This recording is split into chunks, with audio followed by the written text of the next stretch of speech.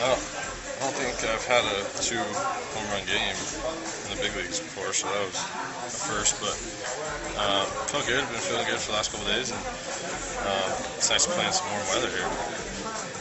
You had been struggling some. Did, have you done anything different extra BP? Or, Struggling. that, or- Is that your opinion, or whose opinion is that? No, it was like 28 games. You were hitting 190 something. Yeah. I don't remember what the number was. Yeah, it's just a number. I, I've been swinging the bat well, and you know, May I was hitting balls right at people day in day out. I was having good at bats, but um, you know, you just keep grinding. You know that eventually, you know, balls are going to find seats and balls are going to find the holes, and um, I just kept, you know, just keep plugging away. Were you just were you in one of those grooves tonight, especially against Kobe the first two times up there? Hit home runs, just really the ball really well all the ball.